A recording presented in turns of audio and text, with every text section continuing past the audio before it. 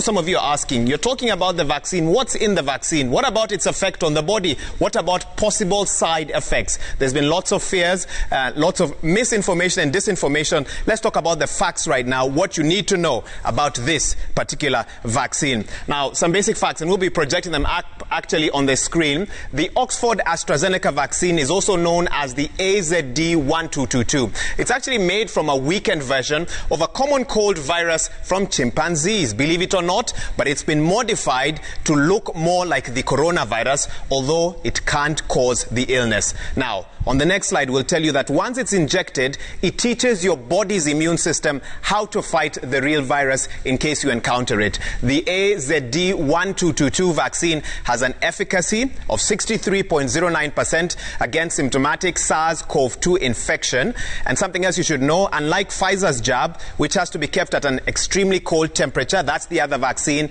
this Oxford vaccine can be stored in a normal fridge. This makes it much easier to be distributed. And of course, across the African continent. Now, so far, the Oxford AstraZeneca vaccine has been used in these countries, in the United Kingdom, in Scotland, in Northern Ireland, and it's currently being rolled out across Africa in that COVAX partnership. The vaccine's effect we're told it's able to substantially reduce the risk of COVID 19 related hospitalization by 94% after the first dose. And this is according to a first study that was carried out on 1.14 million vaccinations that were carried out in Scotland since the vaccine was rolled out in December, the 20th day of December 2020.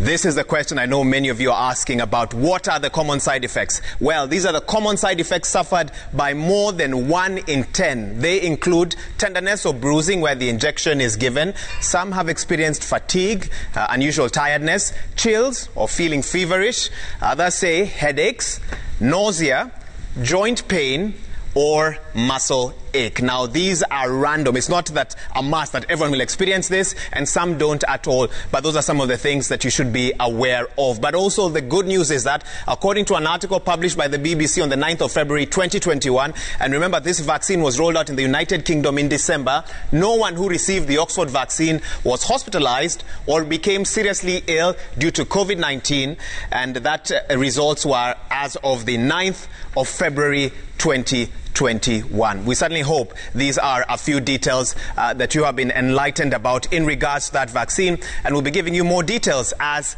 and when we get them. But